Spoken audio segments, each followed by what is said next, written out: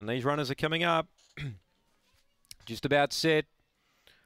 Heat one of the John Gray.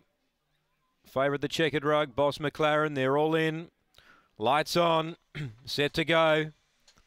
Here we go. Heat one of the John Gray. Ready racing. Boss McLaren stepped only fairly mustering now. There's Speedway Sparky out deep. Phelan's going to clear them all. Boss McLaren got the third, getting a massive uh, bump there. Oakvale Warrior down the back. Phelan by three. Boss McLaren came to the outside. Where's Sparky still there? Three links away to Lenny the Jet. Further back, Street Outlaw, Spring Sniper. Then Ace Allen and Oakvale Warrior, but kicking right away. Phelan. Phelan's four on Boss McLaren. Gee, this dog's racing well. Phelan won by four to Boss McLaren. Lenny the Jet, Street Outlaw make up the minors. Then came Spring Sniper, Ace Allen, Oakvale Warrior. Where's Sparky? That's a brilliant run by Phelan for Clint Trengrove, 29.78. Phelan wins it, number eight.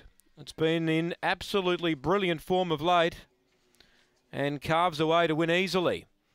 Number eight, Number eight, Phelan defeats two, Boss McLaren. Four, third, Lenny the Jet. Three, fourth, Street Outlaw. Eight, two, four, three. It's a new PB for Phelan. Well, it's been winning everything of late.